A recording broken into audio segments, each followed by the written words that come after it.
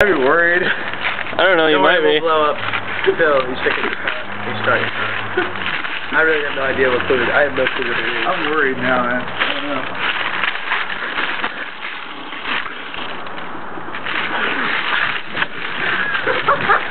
oh my god! Brad, what is it? Oh, Wow. Oh, man. what is it? It's an inflatable sheet. Yeah. Oh, how like it? Come to daddy. Brad. That's pretty sweet, dude. That's pretty cool, man. Brad won't be lonely anymore. Wait, you got- you got a girlfriend, dude? Okay, hold it up. Hold it up, Brad. You gotta get a good, good shot in there. There we go. Great. Yeah. Gonna post that on MySpace. No!